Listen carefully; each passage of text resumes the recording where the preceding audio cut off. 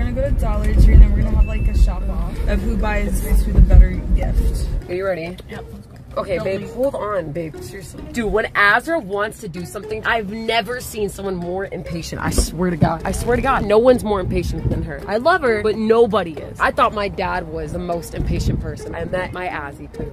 Sorry, sorry, sorry, sorry, I'm sorry. It was because the wind. I'm sorry. I got ring pops for you. Wait, I did too. Can I put it on you? Will you marry me one day, Azra? Yes. One day? She said yes.